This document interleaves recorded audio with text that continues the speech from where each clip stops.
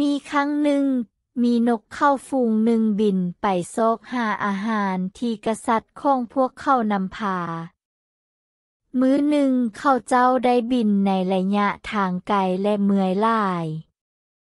กษัตริย์นกเข้าได้สุกยุเข้าเจ้าให้บินไปอีก น้อยหนึ่ง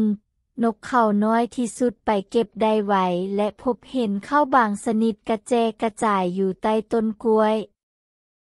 ดังนั้นนกเข้าทางป่วง จึงลงจอดและเริ่มกิน ทันใดนั้นตานางได้ตกลงมาใส่พวกเขา และพวกเขาทั้งหมดก็ติดอยู่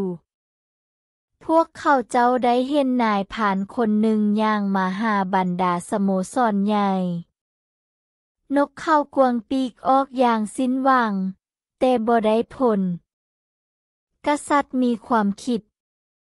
พระองค์แนะนำนกเข้าทางป่วงให้บินขึ้นไปนำตานางนำทานกาวา มีความสมัคคีกัน นกเข้าแต่ละตัวได้เอาตานางส่วนหนึ่งขึ้นมา แล้วพากันบินไปนำตานางไปนำนายพานเลี้ยวขึ้นด้วยความประหลาดใจลาวพยายามติดตามพวกเขา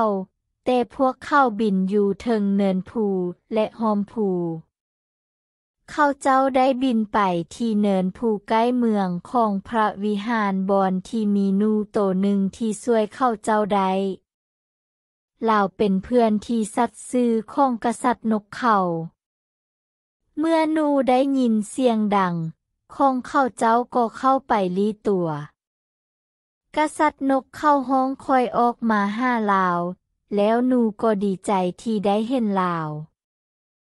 กษัตริย์นกเข้าได้อธิบายว่า เขาเจ้าได้ทึกจับอยู่ในจันจับ และต้องการความช่วยเลือของนูเพื่อกัดตานางด้วยแค้วของเขาและปล่อยให้มันเป็นอิสระนูเห็นดีว่าว่า จะปลดปล่อยกษัตริย์ก่อน